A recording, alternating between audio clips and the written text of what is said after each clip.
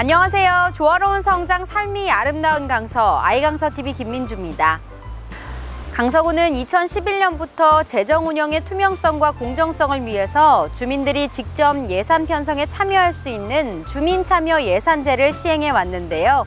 앞으로는 아동과 청소년들의 의견을 직접 듣고 반영하기 위해 아동참여 예산제를 도입합니다. 아동 참여 예산제는 아동 청소년들의 의견을 적극적으로 수렴하기 위해 만 9세부터 만 18세 미만 아동과 청소년들이 사업을 제안하면 공개 토론회에서 의견을 제시하고 공개 투표 후 아동 참여위원 심사 결과를 반영해 최종 선정에 함께하게 됩니다. 문화, 교육, 인권, 환경, 안전 등 다양한 분야의 사업이 제한 대상입니다. 사업 예산은 총 5천만 원이며 공모 기간은 2020년 7월 22일까지입니다. 작성한 제안서는 교육청소년과 또는 동주민센터를 방문하거나 우편, 이메일을 통해 제출하면 됩니다. 아동 청소년들의 많은 참여 부탁드립니다. 제안된 사업들은 투표 결과와 함께 심사를 거쳐 최종 선정되며 2021년 예산안에 반영됩니다. 아동 참여 예산제에 대한 자세한 사항은 강서구청 교육청소년과로 문의하면 됩니다. 강서구가 코로나19로 어려움을 겪는 구민들의 생활 안정과 경제 회복을 위해 긴급 재난 지원금을 지원합니다. 지원금은 신용카드나 체크카드 포인트로 충전받거나 지역사랑 상품권, 선불카드로도 받을 수 있습니다. 지원금 사용이 제한되는 업종은 대형마트, 백화점, 유흥업소, 온라인 쇼핑몰 등입니다.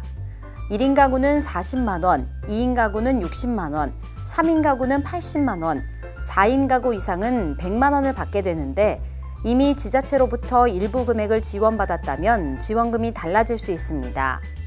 신청은 긴급재난지원금 홈페이지에 접속해 대상자 여부, 가구 원수, 지급 금액과 접수 신청 방법을 확인한 후 지급 수단에 따라 일자와 방법에 맞게 하면 됩니다. 신용카드와 체크카드는 5월 11일부터 카드사 홈페이지에서 신청하며 방문 신청할 경우 카드와 연계된 은행에서 18일부터 신청 가능합니다. 선불카드는 18일부터 동주민센터 전담 창구를 통해 신청하면 됩니다. 주말에는 긴급재난지원금 홈페이지에서 신청할 경우 출생 연도와 상관없이 신청이 가능합니다. 세대주 대신 신청을 원할 경우 세대원이나 대리인이 위임장을 작성해 방문 신청하면 됩니다.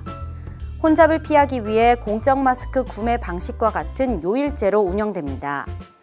혼자 사는 고령의 어르신이나 장애인 등은 지자체에 신청하면 담당자가 자택으로 방문해 신청과 지급을 도와줍니다. 지원금은 8월 31일까지 사용해야 하고 남은 금액은 환급되지 않습니다.